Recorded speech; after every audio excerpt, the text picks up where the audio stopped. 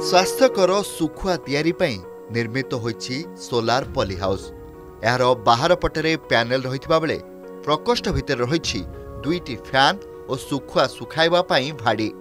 ବାହାର ତାପମାତ୍ରା ତୁଳନାରେ ଏହି ପଲି ହାଉସ୍ ଭିତରେ ଅଧିକ କୋଡ଼ିଏ ଡିଗ୍ରୀ ତାପମାତ୍ରା ସୃଷ୍ଟି ହେଉଥିବାରୁ ବର୍ଷା ଶୀତ ସମେତ ସବୁ ଋତୁରେ କମ୍ ସମୟରେ ପ୍ରସ୍ତୁତ କରାଯାଇପାରୁଛି ଭଳିକି ଭଳି ଶୁଖୁଆ ସମୁଦ୍ରକୂଳ ମଛୁଦିଆ ପରିବାରର ମହିଳାମାନଙ୍କୁ ସ୍ୱାବଲମ୍ବୀ କରିବା ପାଇଁ କେନ୍ଦ୍ର ସରକାରଙ୍କ ଏଭଳି ସୋଲାର ପଲିହାଉସ୍ ସହାୟତା ଜୀବିକା ପ୍ରଦାନରେ ନେଉଛି ବଡ଼ ଭୂମିକା।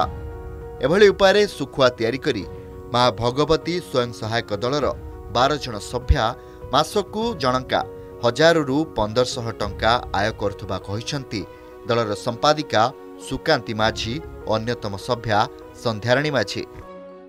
ଏ ପ୍ରୋଜେକ୍ଟ ଆମକୁ ଗଭର୍ଣ୍ଣମେଣ୍ଟ ଥ୍ରୋରେ ଆମର ଗଭର୍ଣ୍ଣମେଣ୍ଟର ଦଶଟା ପ୍ରୋଜେକ୍ଟ ଥିଲା। ଦଶଟା ପ୍ରୋଜେକ୍ଟରୁ ଅ, ବିଭିନ୍ନ ଆଡ଼େ ନଅଟା ପ୍ରୋଜେକ୍ଟ ଲାଗିଛି। ଆଇଦର ବାସୁଦେବପୁର ଲାଗିଛି ଗୋଟେ ଚାନ୍ଦିପୁର ଲାଗିଛି ଗୋଟେ। ଆଉ ଏତିକି ମୁଁ ଜାଣିଛି କିନ୍ତୁ ଆମର ଏଇ ବାହାନଗା ବ୍ଲକ ସ୍ତରରେ ଆମକୁ ଏ ପ୍ରୋଜେକ୍ଟଟା ଗ୍ରୁପ ଜରିଆ ମାଧ୍ୟମରେ ମିଳିଛି। ନୂଆ ଫର୍ମୁଲା ଆଜ୍ଞା ଆମେ ବାହାରେ କରୁ। ବାହାରେ ହେଲା ମାଛି ବସିବେ ଆଉ କୌଣସି ଜୀବାଣୁ ହ- ତା ଦେହରୁ ସୃଷ୍ଟି ହେବେ ତାପରେ ବିଲେଇ କୁକୁର ଏସବୁ ସେଥିରେ ଆ- ଆଶଙ୍କା ଥାଏ। ଆମର ଏଥିରେ ଉମ୍, ଇଏ ଯେଉଁ ପଲିଥିନ୍ ମାଧ୍ୟମଟା କରାଯାଇଛି ଯେ ବାହାର ଉତ୍ତାପଠୁ ଏଠି ଆହୁରି କୋଡ଼ିଏ ଡିଗ୍ରୀ ଉତ୍ତାପ ରହିବ। ଗୋଟେ ଦିନରେ ଆମେ ଆ- ଆରାମସେ ଶୁଖୁଆ କାଢ଼ିପାରିବା ତାପରେ ମାଛି ବସିବେନି କୌଣସି ପୋକ ହେବନି ବିଲେଇ କୁକୁରାକୁ ବି ଛୁଇଁ ପାରିବେନି। ସୁସ୍ଥ ଭାବରେ ଆମେ ଗୋଟିଏ ଦିନରେ ବହୁତ ମାତ୍ରାରେ ଆମେ କାଢ଼ିପାରିବା ଶୁଖୁଆ। ସମାନ ରଙ୍ଗର ଶାଢ଼ୀ ପରିଧାନ କରିଥିବା ଏହି ମହିଳାମାନେ ଆରମ୍ଭ କରିଛନ୍ତି ସାମୂହିକ ବ୍ୟବସାୟ।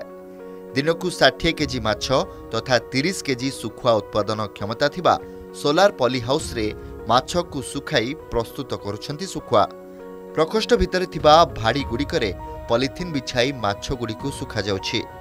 ପୂର୍ବରୁ ଖୋଲାରେ ଶୁଖୁଥିବା ଶୁଖୁଆଗୁଡ଼ିକୁ କାଉ କୁକୁର ଖାଇଯାଉଥିବା ବେଳେ ଏଠାରେ କୌଣସି ପୋକ ଜୀବଜନ୍ତୁ କିମ୍ବା ପ୍ରଦୂଷଣର ଆଶଙ୍କା ନଥିବା କହନ୍ତି ମନ୍ଦୋଦରୀ ବେହେରା ଓ ସବିତା ମାଝୀ।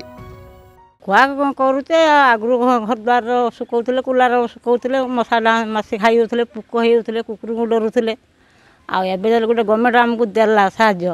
ଆଉ ନିର୍ଭର ଶୁଖୁଆଟା କଲେ ଆଉ ଶୁକେଇବ ଆଉ।